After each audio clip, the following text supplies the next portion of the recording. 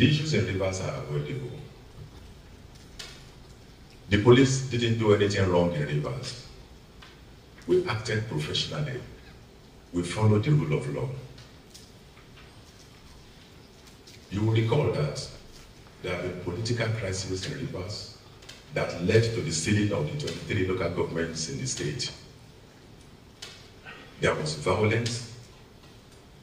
Even in that violence, we lost a policeman. Subsequently, the 23 local governments were taken over and sealed. And we were waiting for pronouncement of the courts on the political issues in the. Handle the election. We are going to handle Ondo in the same way, and we are even going to improve on our handling of Ondo election. Um, there have been series of insinuations in the social media about what we are doing in Falomo barracks, with Falomo barracks and other barracks in Nigeria.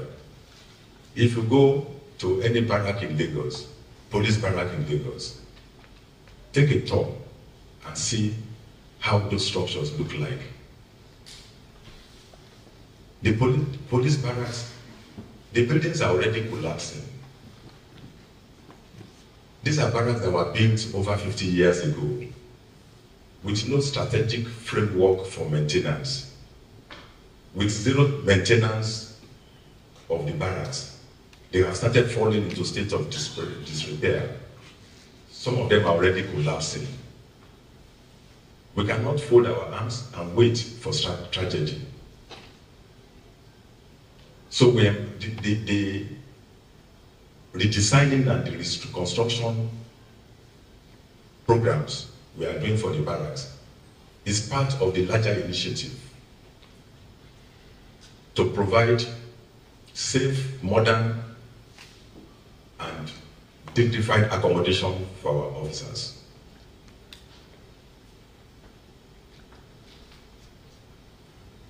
We have to intervene.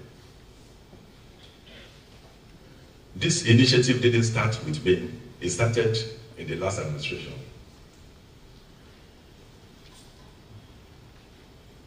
It is something that we just have to do. The barracks in Lagos are collapsing. The Lagos state government has a law that once they have arrested within a short time, and imagine how we are going to cope with this large number of suspects being arrested. I wanted to know what is encouraging the youth into crime. You see, in crime management, there are two approaches to managing crime all over the world. There is the kinetic approach, and there is the non-kinetic approach. The kinetic approach rests with us, the security services. The non-kinetic approach is being led by the government.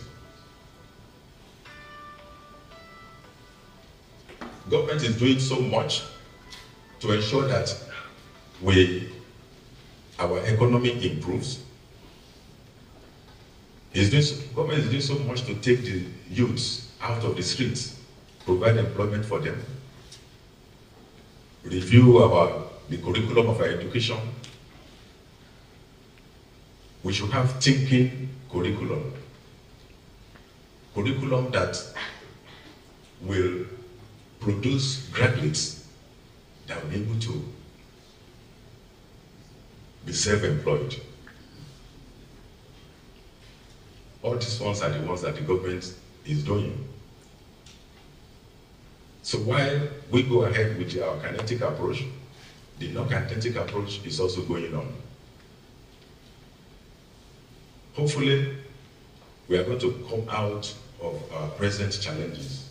We have so many challenges, economic challenges, security challenges, environmental challenges, and all of that. So all these challenges, we have to tackle them simultaneously.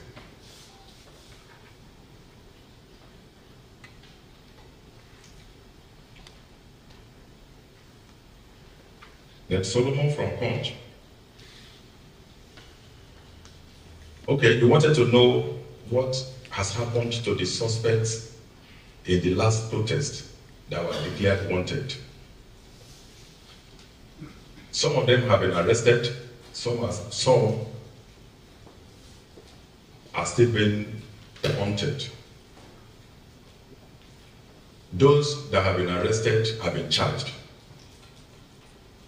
Then those that are still at large, we are still going after them. We will eventually get them. Nigerian Police Force. Today, we convene to collaboratively review our performance and the significant national events since our last meeting in July. Our agenda is to pinpoint upcoming challenges and craft empirically based solutions, particularly focusing on the uh, Ondo State off-season election and various local government elections across the country. I want to begin by expressing my deep appreciation for your unwavering dedication to maintaining law and order throughout our nation. I fully recognize the complex and demanding security environment in which you operate, as well as the daily challenges you encounter in fulfilling your duties. I acknowledge the rigorous work schedules and the risk you face to address these challenges, often compounded by a notable lack of resources. To reflect on our recent accomplishments, but also to decisively plan our next steps. As we continue our efforts to combat crime and criminality across Nigeria, it is imperative that we remain proactive and visionary. Our role in the country's internal security framework is vital. We must lead by example. With the upcoming off-cycle gubernatorial election in Ondo State, the local government council elections nationwide, and the challenges of the current ember months, our vigilance and commitment to enhance security are paramount. Together, let's strive to foster a safe and secure environment for all Nigerians, thereby reinforcing the trust that is fundamental to our effectiveness. We must build on the progress we have made in addressing security concerns across our nation. Over the past few months, the force has significantly enhanced the safety and security of the country. Our tactical operations, intelligence-led policing, and community engagement strategies have yielded impressive results. Recent statistics indicate a substantial decrease in crime rates in key areas, including significant strides in combating violent crimes such as banditry, kidnapping, armed robbery, and cybercrime.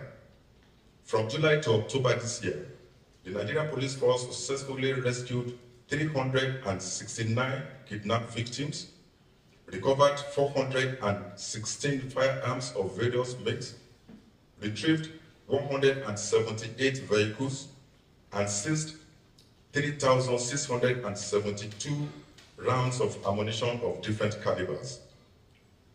Additionally, a total of 10,852 suspects were arrested across the country.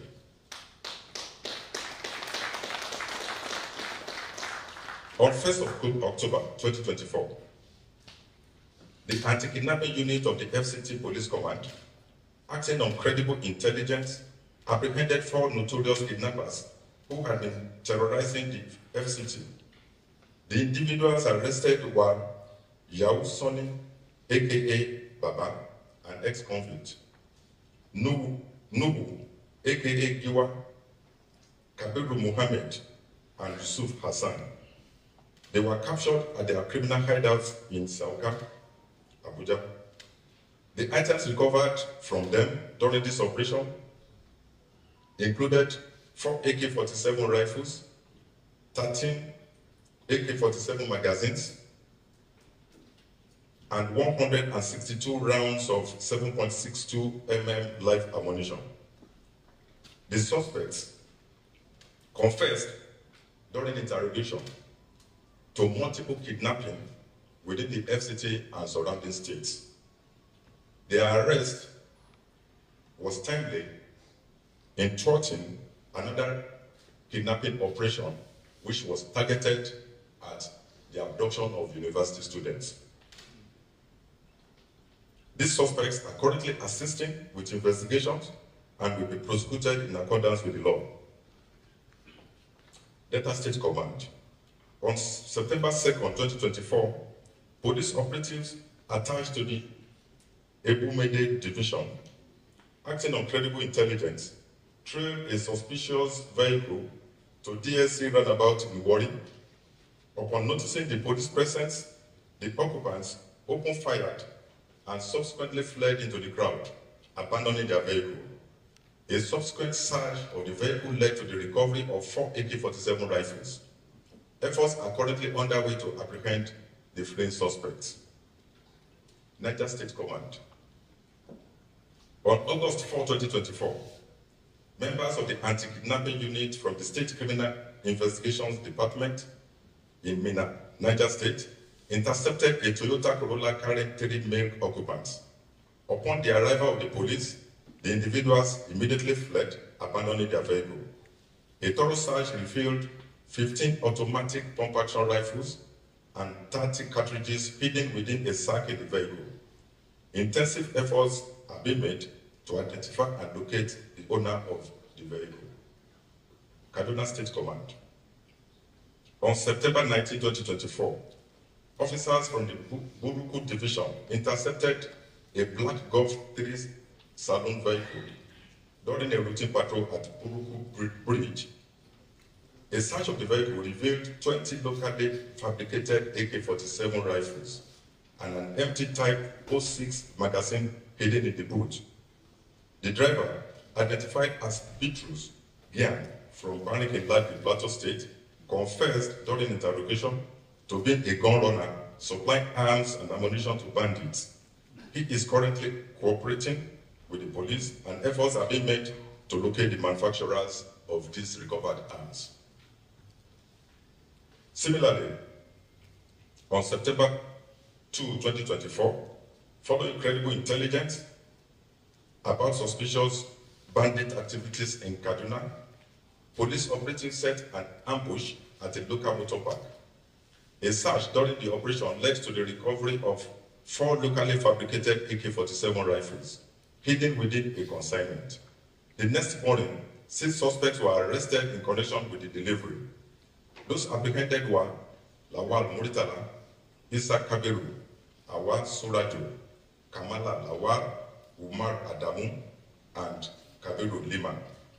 Items recovered from the suspects include four fabricated AK-47 rifles, two English pistols, two pump-action guns, 24 cartridges, 29 rounds of live ammunition of various calibers, a large assortment of charms, one walkie-talkie, one axe, one cash totaling 908,600 naira.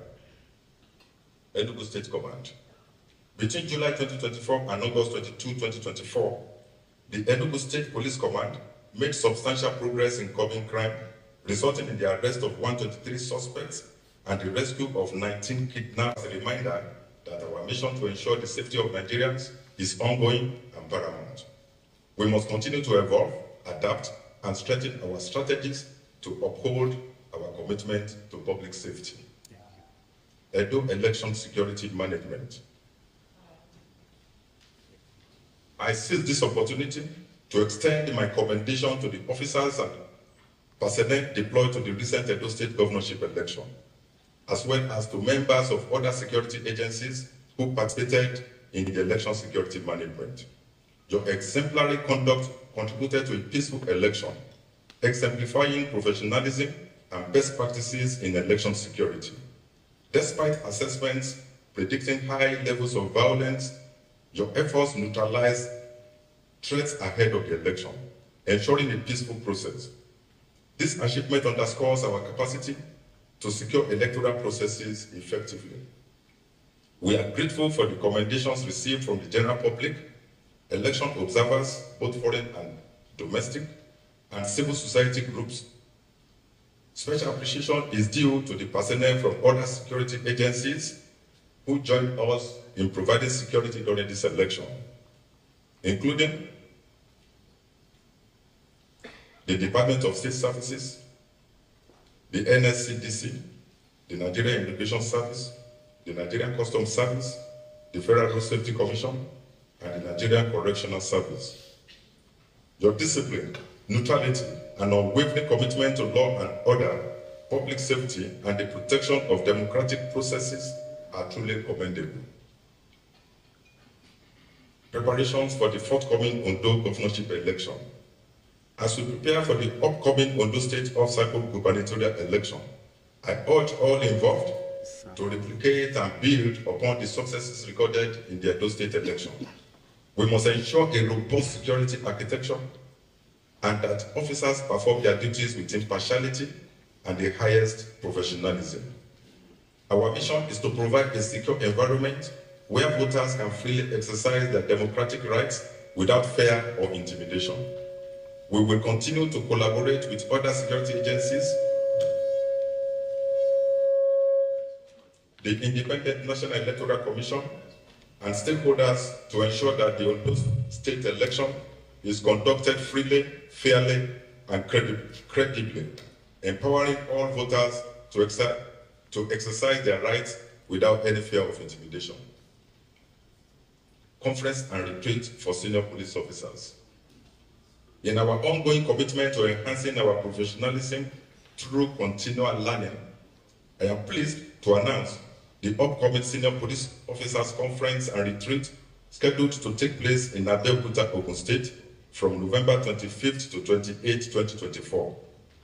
This event will provide a vital platform for deep reflection, knowledge sharing, and strategic planning, aimed at senior officers of the rank of commissioners of police and above, as well as other strategic police managers. The retreat will enable us to evaluate our strengths, pinpoint areas for improvement, and realign our goals with the evolving needs of the Nigerian populace. This gathering will be pivotal in preparing us for the challenges of 2025 and beyond, reinforcing our commitment to the modernization and ongoing reform of the Nigerian police force. Within the approach of the Ember months, with the, as we continue with the Ember months, a time traditionally associated with heightened security challenges, the imperative for vigilance, enhanced visibility, and proactive policing becomes even more critical. Criminal elements frequently exploit this season, necessitating our strategic foresight to stay ahead. Our approach should include increased patrols, intelligence-driven and community-oriented operations